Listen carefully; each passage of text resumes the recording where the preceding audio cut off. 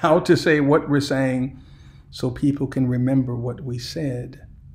Here in video number three, we are going to discuss, we're going to continue how to start. That is, we're going to give you more uh, mechanics and principles and concepts on how to put together your article, your book, your blog, such that you reach the audience in the most effective way possible. Now, in video number two, we discussed three things primarily under the auspices of how to start. We talked about what? Third party eavesdropping. That's just being nosy from a distance, if you want to just say it in plain language. We also discussed first person eavesdropping. And then we discussed introspection. We talked about the power of each. But I just want to take one of these and, and delve a little more before we get into the mechanics of how to start of today. Introspection. Introspection is so powerful. Let me just say that again. Introspection, writing from the angle of introspection, is so powerful. If you concentrate, if you practice speaking from your heart without editing, that is, saying what you feel without attempting to find a way to say it. Let me say that again. If you concentrate on saying what you feel without attempting to find a way to say it, that is, when you feel a certain way, say it the way you feel it. The grammar may be off, the syntax may be incorrect, but if the emotion is on, your reader will feel. Let me, oh boy, let me calm down. If your emotion is on, your reader will feel something. And what have we learned? People don't do something until they feel something. And if your reader feels something, your reader will keep reading. And we know that is what? The first purpose of our writing the first law of the Ross writing method is what? To keep the reader reading. It doesn't matter how deep we are, doesn't matter what we're saying later on. If we cannot keep the reader reading, all of our writing has been in vain. So, when you leverage introspection, when you leverage the authenticity of your pure thoughts without perfecting them first, something happens people start to relate to you in a different way, not because you are great in literature and you're a Pulitzer Prize winner and you are, you know, it's not that. People start to relate to you because you're saying what they only can think of that they didn't know they had permission to put on paper. The mistake most people make, writers, is they think what they should write, but then they change it before they write it. Let me say that again. They think what they should write, but then they change it before they write it. It's like, well, let me just, how should I say this? Have you heard that before? Have you been sitting down at a piece of paper and you're thinking about, let's see, this is what I want to say, but then you make the terrible mistake and you say, how should I say it? Not knowing you should say it just the way you thought it. When you say it just the way you thought it, people feel something, they keep reading, and when they feel something, you have something going on.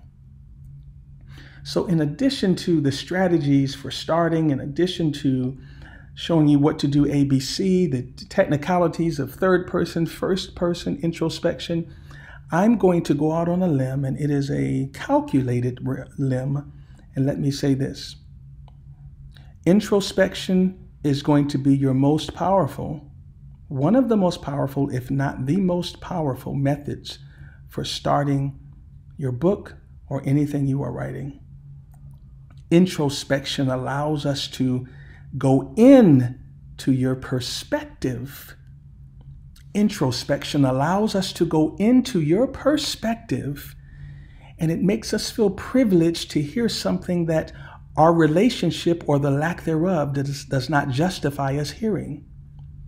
It allows us to hear something and feel something that our relationship with you or the lack thereof does not justify us hearing or feeling. In other words, you have given us access to a special place, and your reader will continue to read when you start off your paper with introspection because they're saying, wow, he or she has, a, has admitted or has decided to put down the facade. They have decided to take the wall down. They have decided to not be perfect, but to just be true, man. And when you talk about being true, when you talk about your feelings, when you talk about the raw emotions you are having and you decide to put it on paper, I'm telling you, you win every time. You win every single time when you decide to put truth, authentic truth, not truth edited, but authentic truth on paper. I'm going to tell you just a slight story about that. And many of you who have attended my attended my seminars, writing seminars across the country, uh, some of you may have heard this. It has impacted me, and I'll, I'll if I say it once, you'll probably hear it again. I was teaching a class in Toronto. A gentleman who was quiet the whole time, at the end, raised his hand, and he had been listening intently, and I, I could tell he was not there lightly. He was he was there he was there with something heavy on his shoulders. I didn't know what, but I could tell. So at the end of the session, he said, I have something to say. I said, Yes. And he raised his hand and he said, I have a story to tell. He said, I have a story to tell, but I'm a nobody. And I talk about this all the time because it's so powerful. And I say it over and over because you have to get the power in what he said. He said, I'm a nobody, and nobody would want to hear what I have to say. I don't know what to write. And I said, You write just what you said.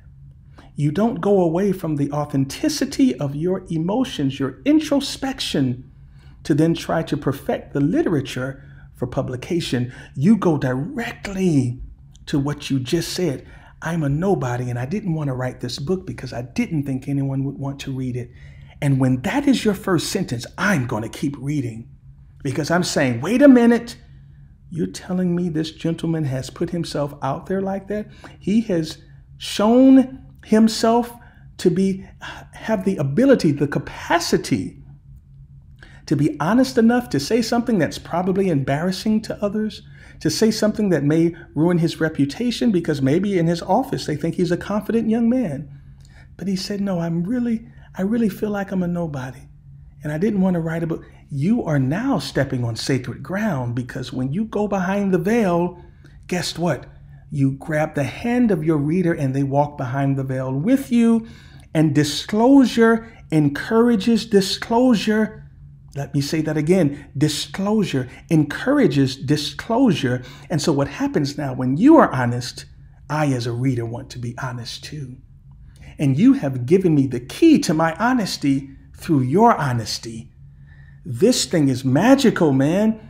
It's more than just start with this and say this and sequence and chronology and start. No, this thing comes down to being painfully honest enough to say, you know what? I didn't want to write a book because I kind of look at myself as being a nobody. Who would want to read a book written by nobody? Here's the answer everybody.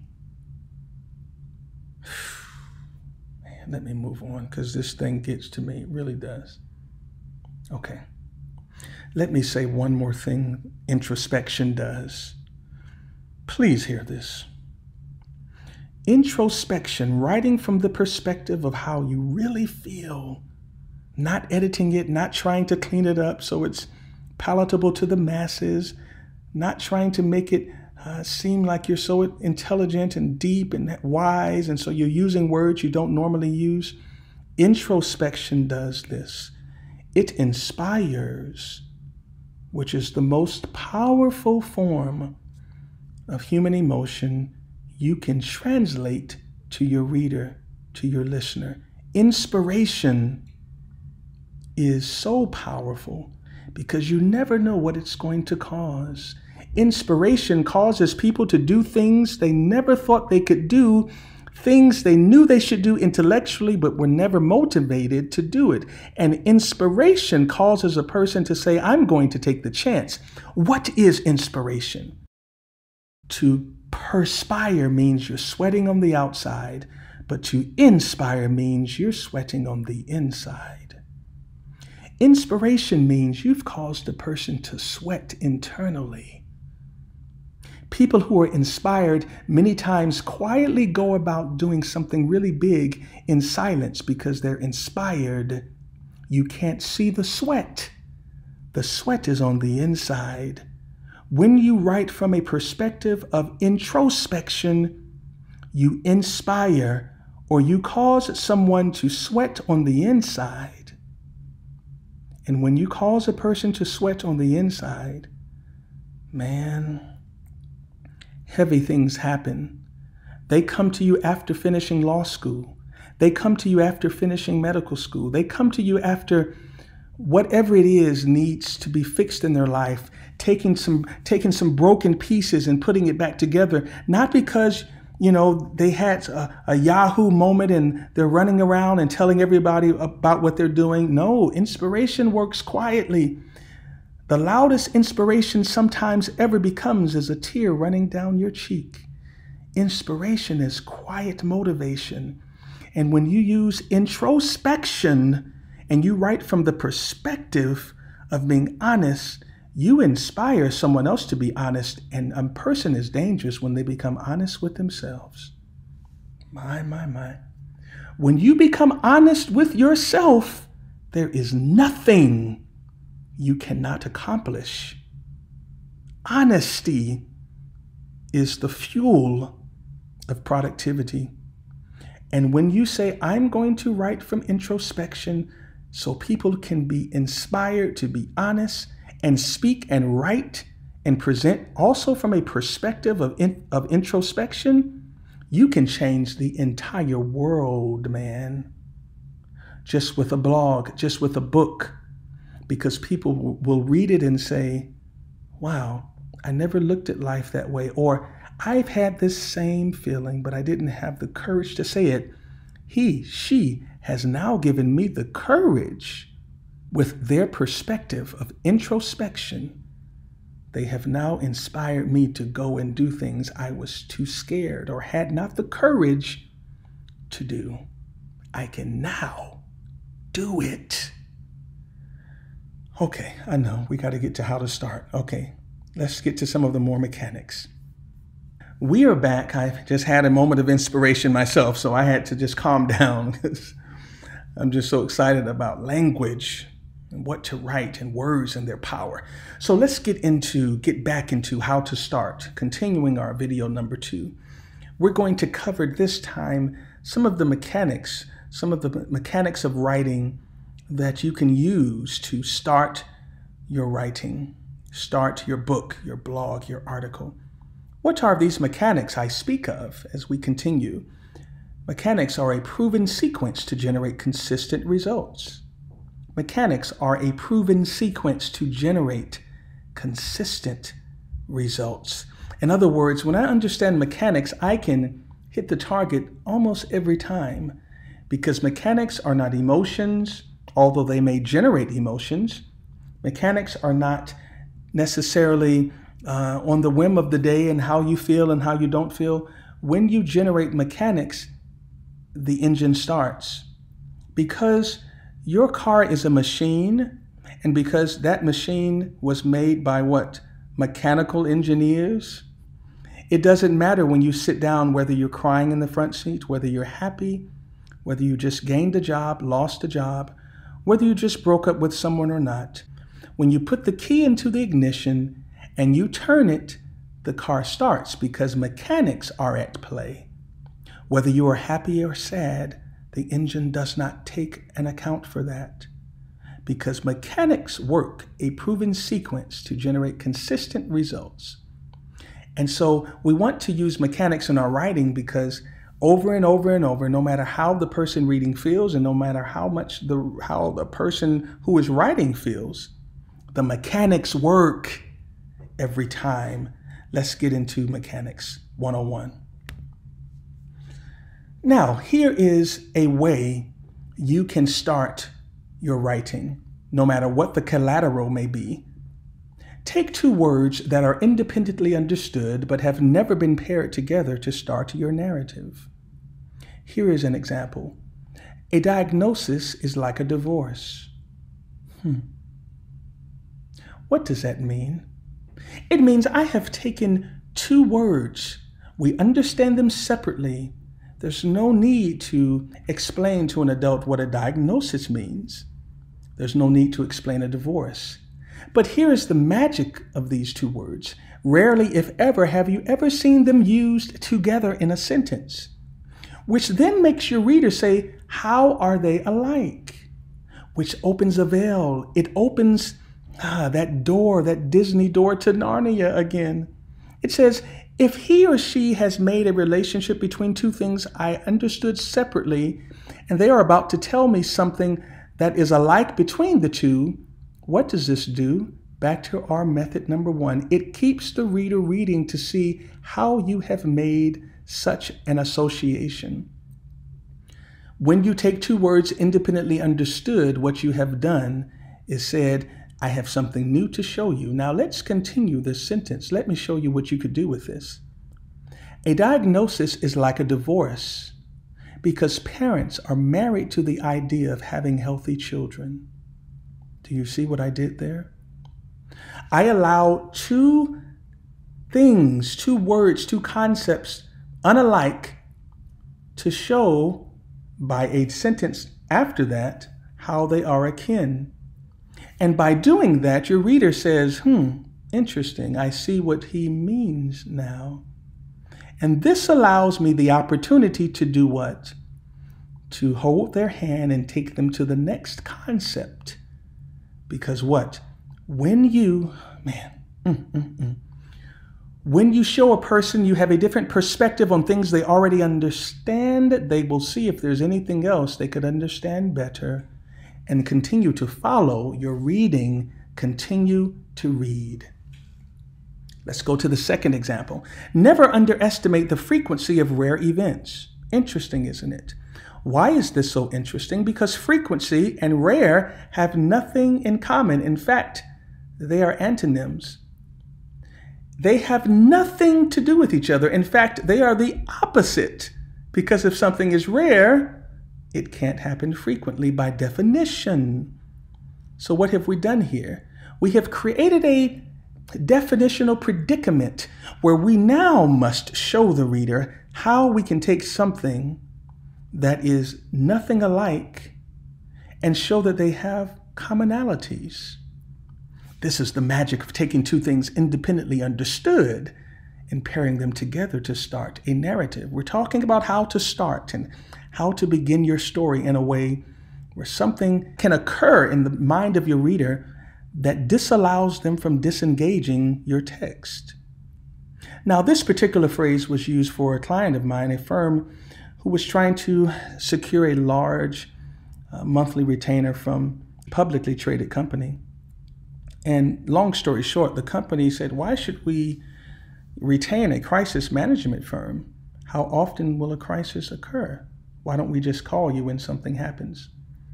And not to tell you the entire story, but the argument was made that if a crisis hits the media over a certain period of time, the dilution of their share price would cost them hundreds of millions of dollars if it was not taken care of immediately, if we didn't have something in place to take care of it immediately. And so, what are we are we really saying? Never underestimate the frequency of rare events. What we are really saying is never underestimate the liability of rare events.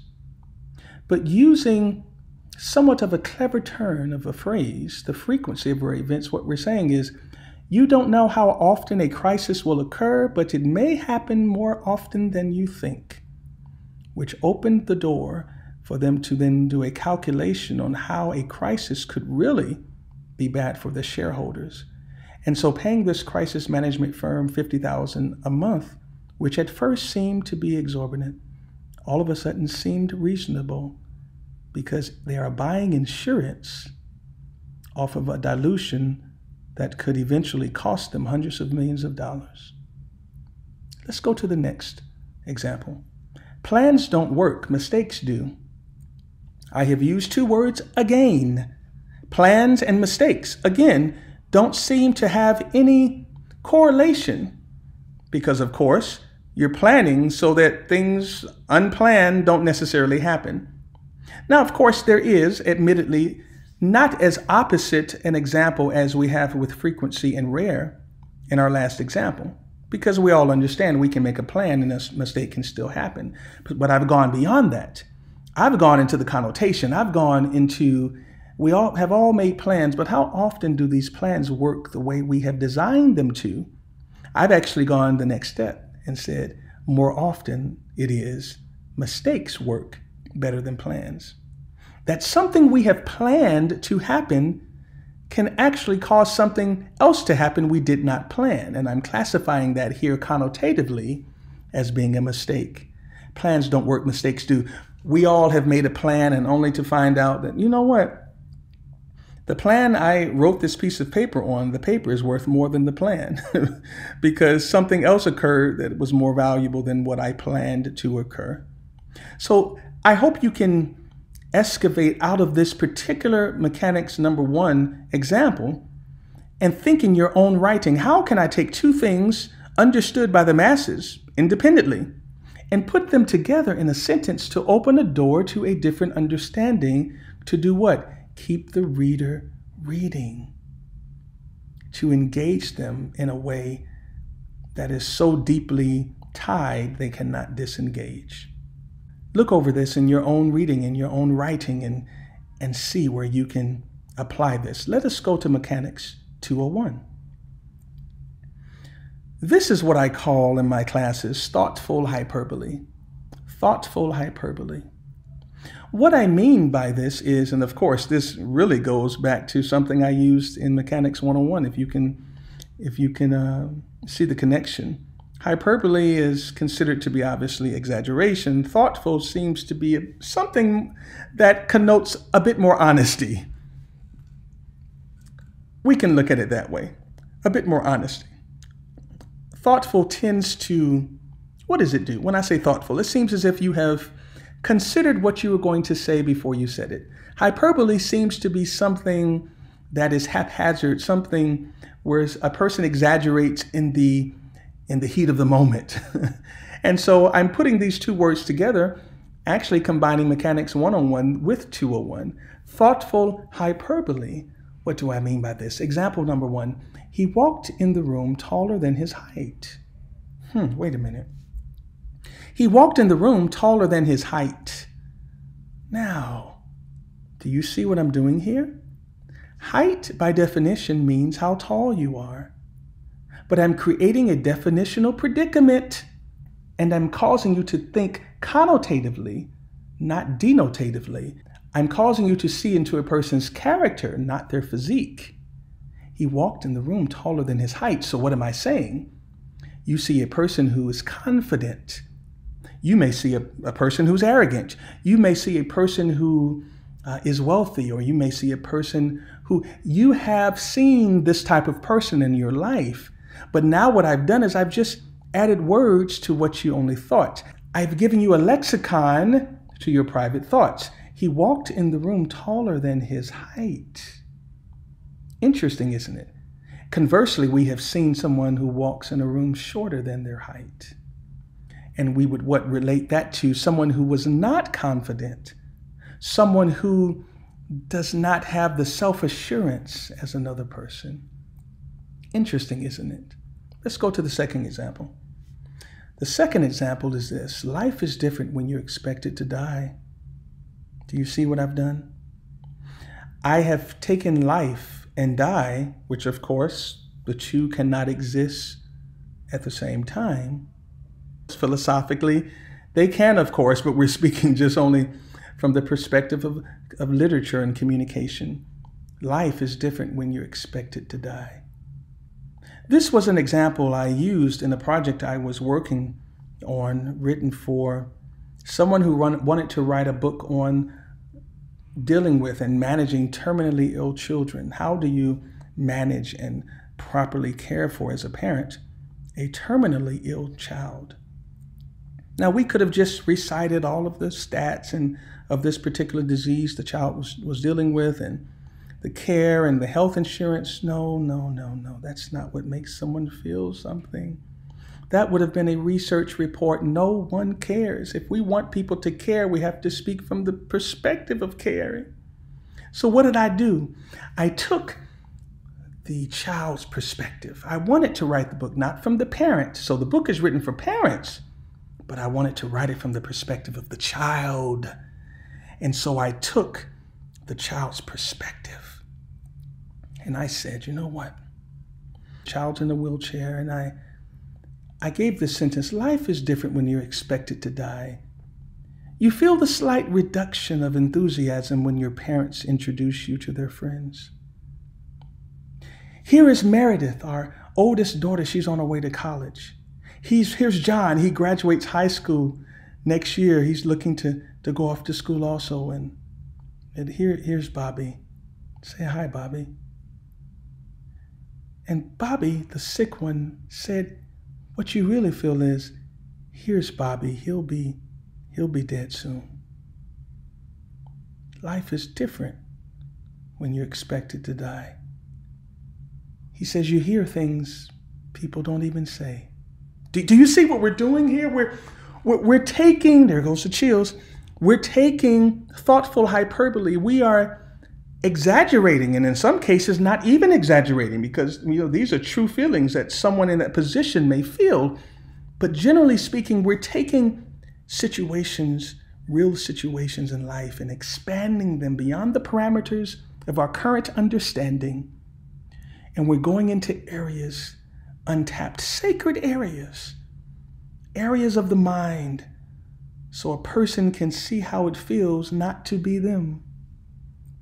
Oh, we know what it feels like to be ourselves, but the key is taking someone using introspection, using using thoughtful hyperbole, using independent words understood but never paired together, using all of this and showing someone a different life, a life they have not lived so they can appreciate and understand deeper things that they have never experienced. Man, let me go forward. I'll get stuck there. Whew. Mechanics 301 give words to wordless places. Giving words to wordless places. Mm. All of this is connected. If you, when you really look at this, all of this is connected. What does it mean to give words to wordless places? Hmm. You know what it means.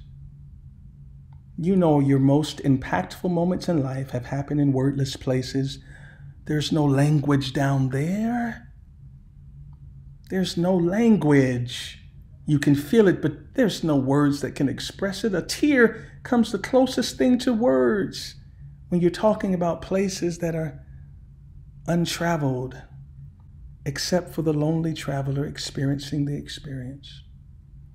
Words to wordless places. Let's look at the first example. The first example is it's a bit fun to me, and I always find this to be interesting when I teach it in person in my seminars because the men in the room always look at this sentence and come away with something so differently than the women do. It's just a fascinating study in gender. And I've done this so many times in so many cities, I can tell you exactly what the women are going to say and what the men are going to say. Through my toes, I watched her get dressed. Hmm. My question always in my seminar is Who do you think she is? Does this sound like a man's wife, his girlfriend? Is he supposed to be there with this woman, or this is someone who is not supposed to be in his presence? What is the connotation of this sentence?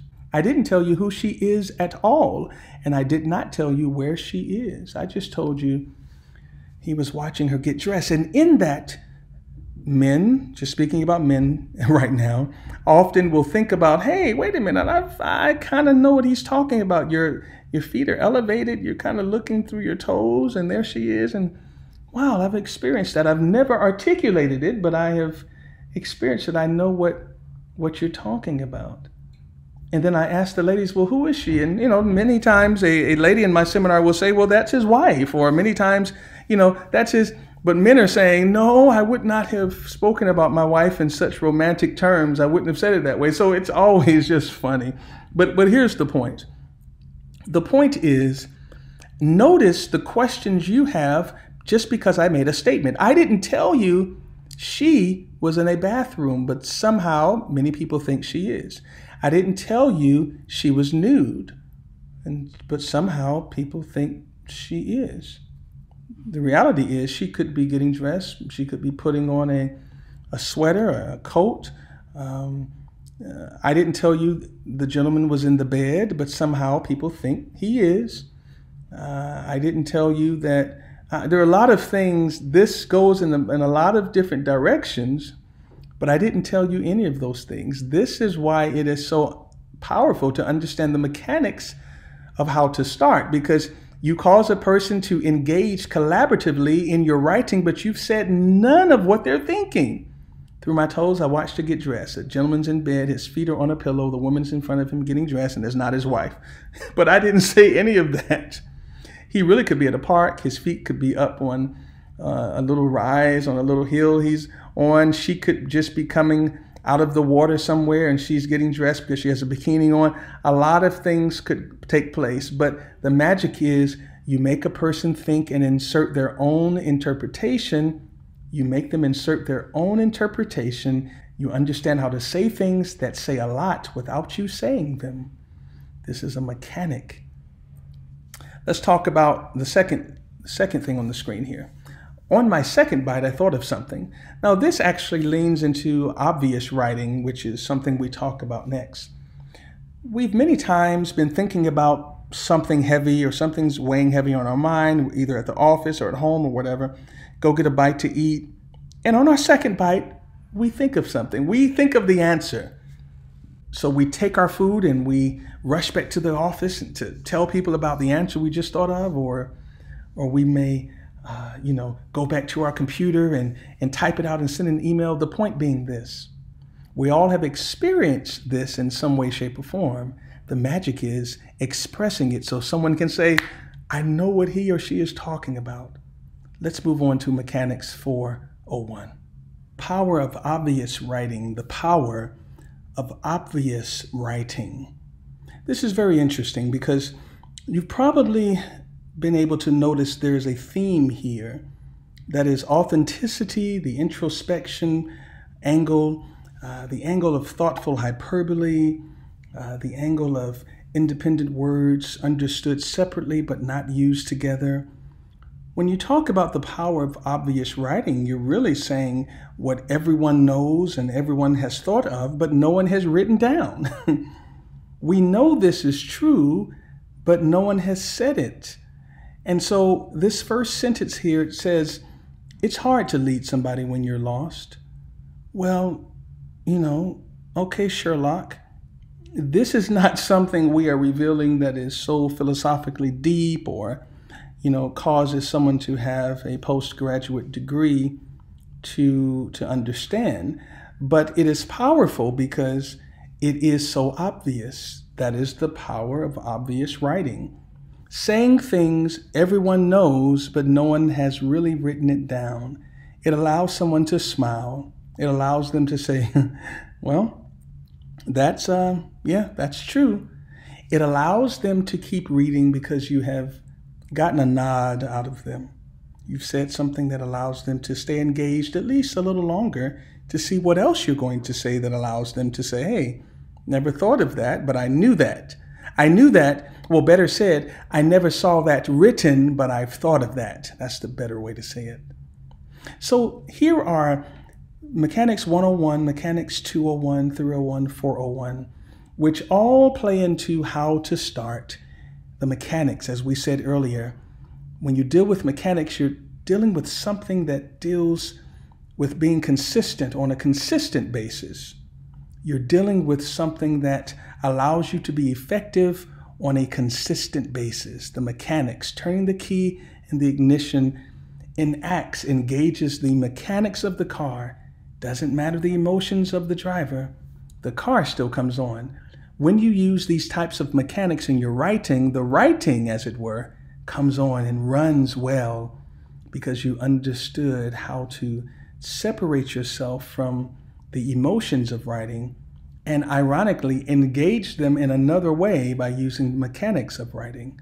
It's just a different way of getting to the same place. Now, if you finished video two and here at the end of video three, you may be saying, wait a minute, Dennis, you talked about talking about something else in the last video. That is what?